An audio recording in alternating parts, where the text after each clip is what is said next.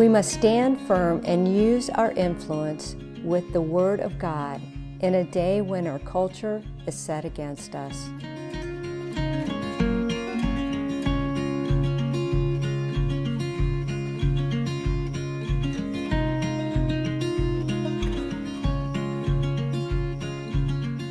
While Seth and Nirva Ready began their journeys in different musical circles, Nirva with Toby Mac and Seth with Kirk Franklin, it wasn't long before their paths began to cross. Since then, the beloved husband and wife have been on a mission with their new music, One Voice, to call us back to a unity founded in Christ. Instead of the divisions our society is experiencing, they hope to point people in the only direction where real solutions can be found the way of Christ. This is their story. This is today's Nashville. This is faith. Seth and Nirva, I am so excited that you have joined me on today's Nashville. I've been wanting you for a long time. Welcome. Thank you, Terry. It's good yeah, to be here. thanks so much for having us. You guys have been busy, haven't you? We've been doing life. It's been good. Yep. Won't complain. Full, rich, but Yeah, it's been good good, though. Well, tell me how it all started. You have both had music careers, different music careers, and I love how God crossed your paths. Yeah, So let's talk about that.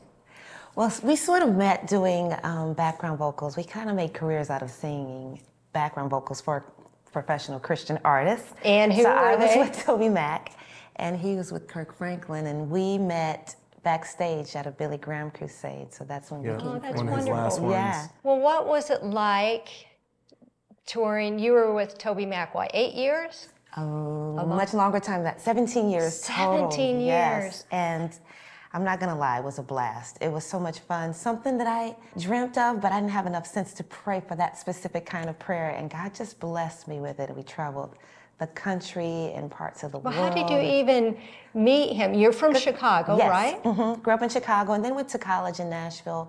Stayed there for years, just in the music scene, just waiting for God to open doors. But I was traveling home from, I think, North Carolina one weekend. And before, before the flight took off, I got up and moved to a window seat. And it was Toby Mac's seat. And I, I, didn't, I was familiar with DC Talk at the time, but I never met Toby. His singer had just quit that very weekend and was looking for someone to fill the spot. And there I was, and I auditioned and got the gig. And I was so, So you sat right next to him. I No, sat she- she in stole his his seat. I seat. stole She his stole seat. Yeah.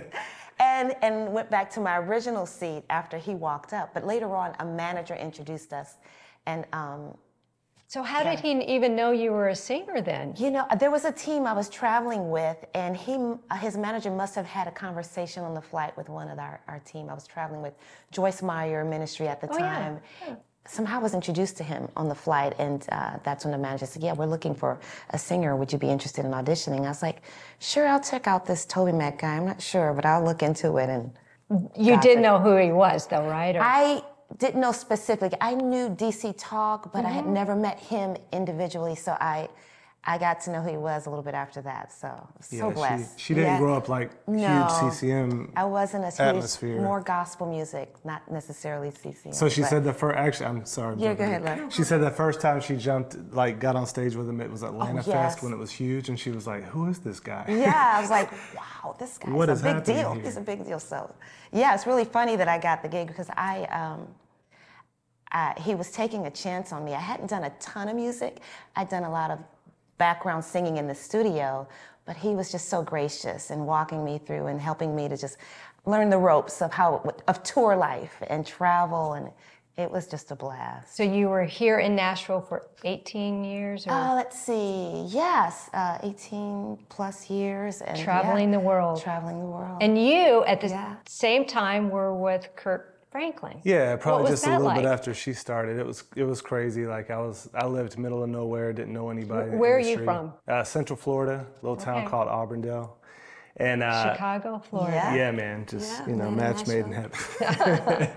but yeah, I was in Central Florida. I was I was actually in college. I was a math major, just but I loved music, and I recorded a demo with a guy, and it got passed to a guy who passed it to Kirk Franklin, and he needed a guy like last minute for a tour, and I was a huge gospel music fan, huge Kirk Franklin fan. So when I got the call to travel, I was like.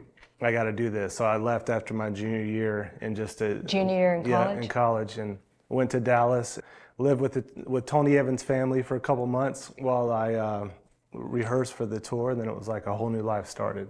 Now, how long were you with him? About three or four years. Three or four years. hmm And from him, I met other gospel artists and started traveling with them. So it was kind of a just a, a huge door opener for me.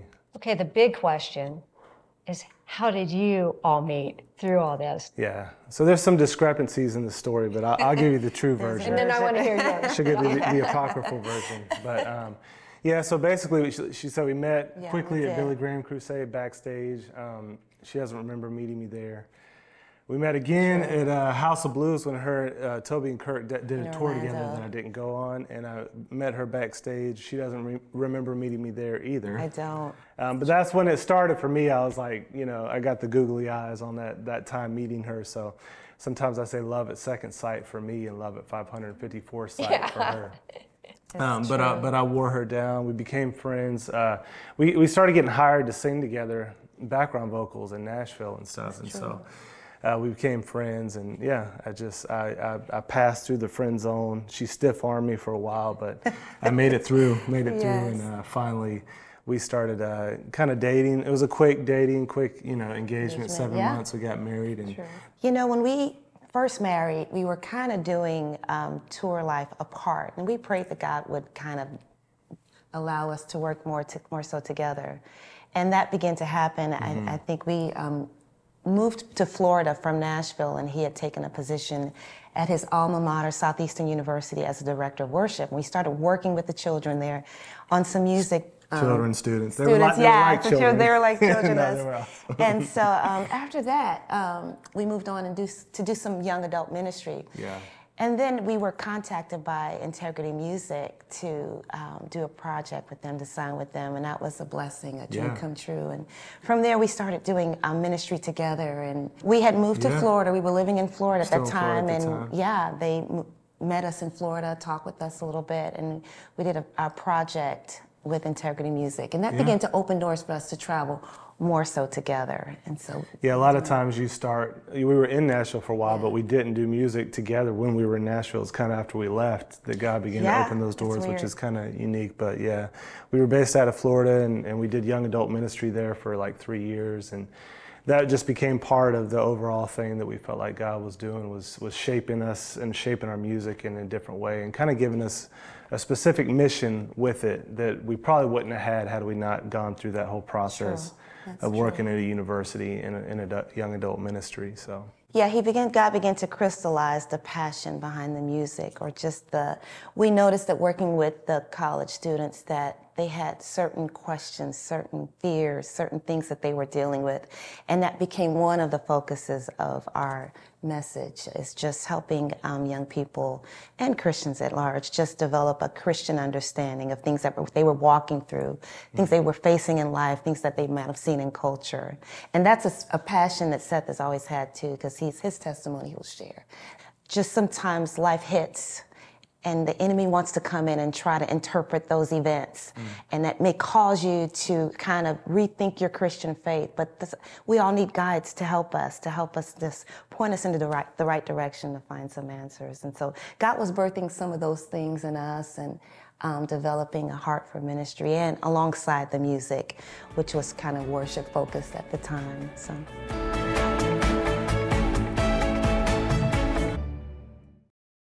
Before we talk about what God is doing in your life, in your ministry, Seth, Nirva, I would love to hear how you met Jesus, your testimony. yeah, for me, you know, I, I did thankfully grow up in a Christian home. I had you know parents not perfect but very um, dedicated to their walk with the Lord, and they they raised me up in that way. And so, um, at the age of six, I think it was an Awanas meeting or something. I raised my hand to get saved, you know. And I really did have, like, even at a young age, I had a desire to follow the Lord. I mean, I was a normal, knuckleheaded kid like the rest, but um, had a desire to follow the Lord. And He, you know, walked with Him. When I got in youth group, probably about 15, that was the, I really got serious about my faith. Had a great youth pastor who became a best friend eventually. But about that same time when I got serious, I began to be plagued by intellectual doubts. And you know, I think I remember just having, you know, the basic questions that you have, like, how do I know Christianity is true? What if I was born in a Muslim country? Would I be Muslim? You know, those kinds of basic things. Um, unfortunately, at the time, while my church background was great, it wasn't as equipped in that area.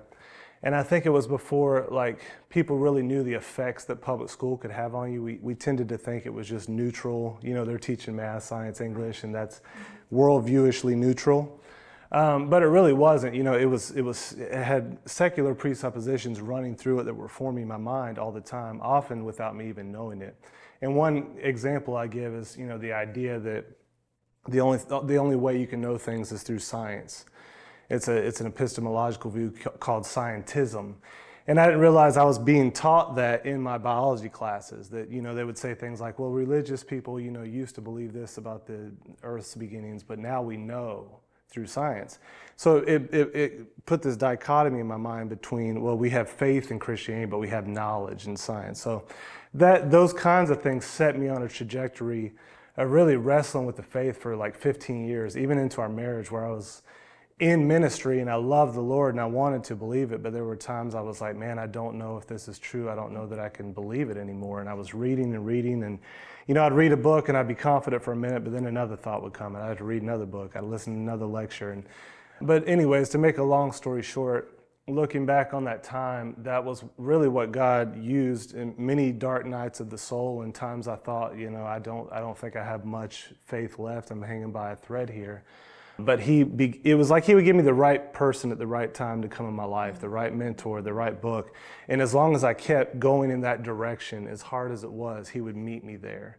And looking back like when we began to do young adult ministry i can see how purposeful it was that even though it was a painful process he brought me to a place where I could confidently say Christianity is something that can not only, it, it's not only that we believe it to be true, we can know it to be true, we can have our confidence in it. And actually, when it comes to reason and logic, and I, have done, a, I mean, hours and hours and hours of studying all sorts of different worldviews and religions. And it is the one perspective that I think is the most intellectually satisfying and stands on the, the shoulders of giants and, and, at this point, I'm thankful for that process, having gone through that as tough as it was. I can say, man, I really know who has called me, and He's been there with me. I've, I've experienced Him. And it's like C.S. Lewis said, I know Christianity is true not only because I see it, but like the sun, by it I see everything. It makes sense of everything we experience in life. And so that's my little my little yeah. testimony. What about you, Nirva? How did that, with your testimony and your faith, and how that kind of was in your marriage and how did that yeah I, I, I, could say that um, you know seth has challenged me over the years not to just know what i believe but how and why i believe it. And so my testimony is a little bit more i didn't grow up in a christian home but um, south side of Chicago was tough. So growing up in that environment was just um, challenging as a young person. Mm. Going off to college, I got born again. I found the Lord. A friend walked me into a relationship with Jesus. But from there, just just struggling to still find meaning and purpose. So it's a process of discipleship. And I finally landed at a church that that brought that into my life to smooth out all of my rough edges. By that point, I might have developed a habit of finding meaning in the wrong places to relationships, through performing and singing, and then that just was a cycle of defeat that God began to just re-transform my mind mm. in understanding why I'm here and what, what's my purpose in life. Well, tell me too how your music came together and how old were you both when you mm-hmm. started your music careers? Were you young or? Oh gosh, I was in, let's see, maybe I started singing along to the radio as a child, but in, in high school I joined the choirs and do the local talent shows. And then when I went off to college in Nashville, Tennessee, a school called Fisk University, I majored in music. And so slowly but surely after that, God began to open doors. So I would say a process from my teens up until now of just pursuing music wanting to make a career. Back then, I didn't know you could actually make a career out of music. You dream about being the next so and so, but God's been so faithful and so good. What about you, Sam?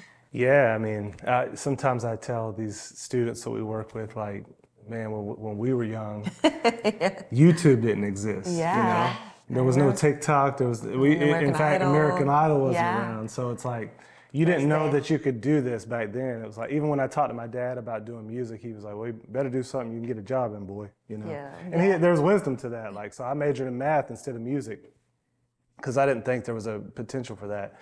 You know, somehow it was one of those really supernatural um, movements of God where you just you can't explain it. It was nothing I did. It was not my genius or nothing I put out there. But He just opened that door with Kirk. So I, I really went, literally went from zero to like a world traveling, world stage kind of thing, meeting my heroes. And so it, it, was just that crazy. And then so when I met when I met her, by that point I had learned a lot from these guys. We, we both learned a lot from the best, you know, just sitting behind them, mm-hmm. watching them do it, watching them create in the studio, watching them come up with live shows.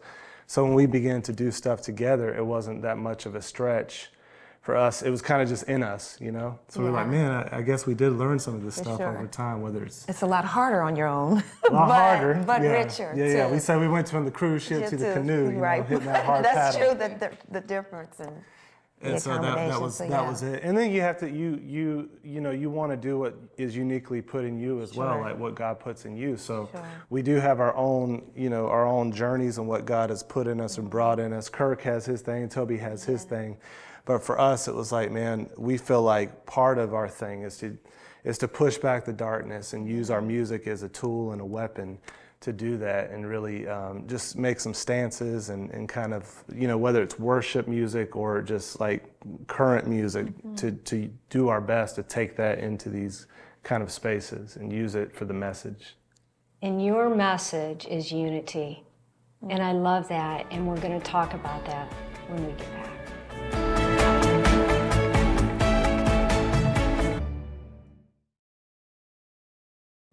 You were talking about how your music has come together and how God is using you in your ministry. And would you sing, you know, part of a song for me? Okay, so this song is called Armor, and the verse goes When the playground becomes a battleground, draw strength. Every soldier takes up weapons in war.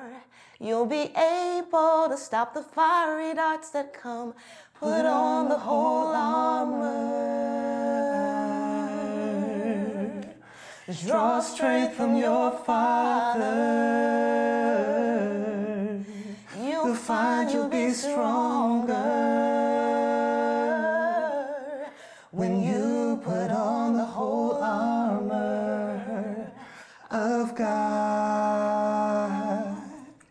it's beautiful. Thank it's you. beautiful. And this is a new project you're working on. Yes, it's out. It's called On Earth, and it comes from the prayer where the scripture says, Let your kingdom come, let your will be done on earth as it is in heaven. And mm-hmm. it's just a collection of songs that God had kind of birthed in us during, um, it started during the pandemic, some things that we were praying about, that we were mm-hmm. seeing out in culture, and we were like, you know, um, messages we were hearing that God wanted to do in the earth, and we would just kind of come up with songs from that place. Yeah. What do you think about what's going on in the inner Ooh. culture? Yeah. Let's talk about it. Yeah. wow, that's, that's a, Where that's do a we thing start? right there.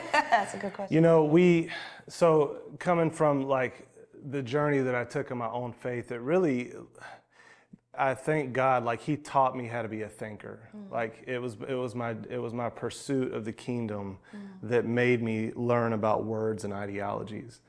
So I feel like in a way He gave me a head start where I wasn't looking for it. But when all the craziness began to go on, um, he so, it was sort of like He had already given me equipment to see through it. And so part of it is like you would see some of the stuff happening and people would respond and um, I began to to see to look past that and saying, man, who is concocting these narratives? Mm-hmm. Like, and what is the what is the purpose behind it? So I think you know, I'll try to make this this really long thing really short. But we began to see this thing called woke ideology come through. Now I had studied postmodernism but I hadn't, I hadn't seen how it was being utilized to pick up on past racial injustices to bring about a narrative that was actually false in the present.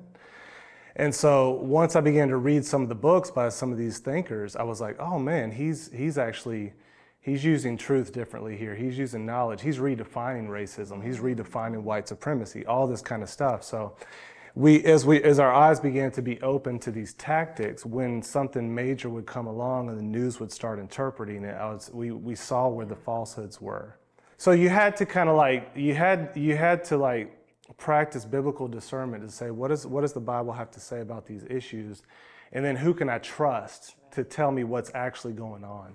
So if you're talking about just the big picture of culture, you like I, I think the biggest thing we've tried to do this in podcast too. Is Tell me, help- tell me the name of your podcast. Yeah, it's called the Free, Free Mind, Mind Podcast. Free Mind Podcast. Yeah, we touch on. We and we hit stuff, you know, head on. So we try to ask, like, man, who is telling the story, and what is their motivation? What are, what are, what is the evidence they're presenting for that? How do we as Christians think through this more clearly and carefully?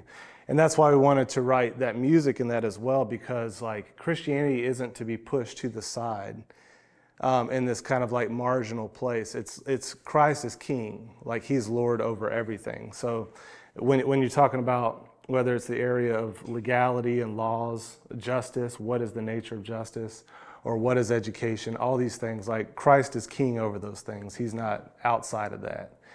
And so we try to do our best to say, okay, what does he have to say about these issues and how do we respond on that basis? Anything you'd add to that, baby? Yeah, and to, to encourage those that do find the truth to be a signpost for others, you know, because the thing that's heartbreaking is to see when your fellow um, family members or church members or pastors fall prey to the false ideologies because it's very popular. It's, it's prevalent, Well, it's, it's it's ubiquitous, it's everywhere, but it's not really truth and, or it's not biblical. But yet it's seeping into the church, and then you feel like it's they call it virtue signaling, signaling where you just do it because it's from culture's eyes the right thing to do, but it's antithetical to the scriptures. So it, like he said, it takes discernment. It takes a little bit of knowledge of history, a little bit of knowledge of okay, what what is popular? Why did, like he said, how did this come about? Who is facilitating and pushing these things? So we've got to be a little bit more sharper than I think. Um, It's amazing what is Yeah. going on in our it's culture. quite crazy. It is bananas. crazy. Yeah. And I, can I add one thing to Yes. it? Is what I would say. You know, it's it's been a rough time. It's been painful for a lot of people, and it's caused a lot of breaking of relationships within families, within churches, and everything. I think part of that we have to go through. Yeah. Because whenever you know, I don't know if you've ever seen a situation where you find out something that's been going on for years that's really unhealthy and really bad. Like you can't paper over that. You have to like go through it to the other side to get healing. And so I think one of the things we're seeing in culture now is not so much that it's new stuff, but it's an exposing of stuff that's been going on for true. years and then a bit of an acceleration on top of it. And so in a way, I'm actually encouraged by it at times because it's like, okay, well, now we're at least seeing what's there. And that fact makes me think, okay, God is, is taking us through this painful thing so that he can wake us up because for too long, many of us have been asleep to the enemy's tactics. And we've been lulled like the you know the proverbial frog in the pot. And so now it's like they they turned up the heat a little bit right? So we're hopping out. Yeah. it's painful but it's a good thing What do you say to uh, a Christian who has kind of stepped away and they're kind of you, you know questioning Yeah. like like you were? Or um, like you said having some of those woke thoughts in their mind and you know you guys aren't quite right. What do you say to them? You know as, as an older brother to some of our, uh, the younger students we taught to i'm like man i promise you i've i've seen it. I've been out there the Christian worldview stands on the, firm, the most firm foundation of any worldview. Don't be so arrogant to presume that you've discovered the thing that the people over thousands of years haven't, first of all. But also, like, be humble enough to, to find people that can help you. That was what helped me out. The, the main thing was finding good mentors that were gifted in those areas that I could bounce stuff off of. And oftentimes, I'd have a 40 minute session with a guy, and he'd say, "And now read these six books, and I'll and I'll talk to you next month." And I had to do the work. Like you have to, you, if you're going to really pursue truth, Dallas Willard you said this. You know, the, the multiplication tables aren't going to knock you down when you're walking down the street. You have to sit down and you have to study them. So if you're going to be a person who cares about knowledge, cares about truth, you have to pursue it, but pursue it in a safe place, not out there doing the the lone warrior on Google. You know but get with some good people that you trust. You see the fruit in their lives because there's a difference between intelligence and wisdom. Wisdom bears good fruit for life. You can be an intelligent person and be a wreck, and you can you can be an intelligent person and not know truth in a broad sense. So I say find people that are wise, that bear fruit, and get up under them and study them. The Bible stands up to scrutiny. And when it comes to all those things, you can learn all the details, but you really don't know the counterfeit outside of studying the real. So make sure you understand the real, and then it'll be easier to see through the other stuff. Is, what, is where I'd the start. Word of God, right? Amen. Yeah. Good old fashioned, Yes. you know. and it's hard. Like there is a part where you have to. It takes time to sit down and even understand what is this Bible I'm holding. What is Right. what are these genres of literature? Like how do I even understand this stuff? But you know, we'll put a lot of time into learning something on YouTube and other areas. Exactly. That's true. And And how- songs, really- right. Yeah, all this And other stuff. You sounds know, we have other Bibles, but when it comes to the Bible, will we will we be the kind of people who will pursue it and seek the kingdom first? And that that is the thing. Like through all the struggles, all the difficulty, I've seen it true that if you seek the kingdom first, He will find you. Oh, Hallelujah. Seth, Nirva, thank you so much. What a blessing you are to so many people. Thank you, Terry. Thanks so much Thanks for so having much. We appreciate you just taking the time to chat with us. My friend, do you need truth in your life? Do you need Jesus? Don't look to the right, don't look to the left, look straight ahead. He's waiting right there in front of you. This is today's Nashville. This is faith.